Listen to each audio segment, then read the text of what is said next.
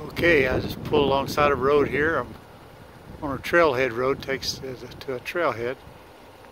And uh, I think this is probably about as close as you can get to the Teton mountain range. I'm not sure which, that's not Grand Teton there. Grand Teton is behind it.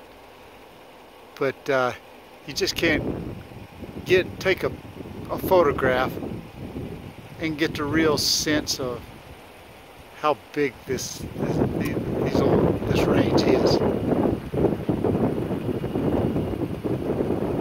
When I got in Grand Teton uh, Park last night, it was later in the afternoon. The sun was behind all the mountains and got some good photos, but not not really good. But today with the sun coming up and the sun being shining on the mountains, some incredible photos. And there's really no way to capture the vastness or how tall that mountain is there.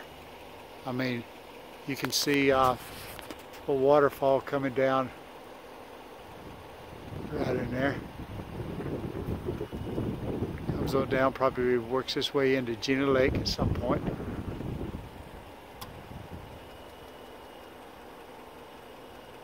This is incredible. Alrighty, I'm out of here, gonna keep on going, headed to Signal Mountain next.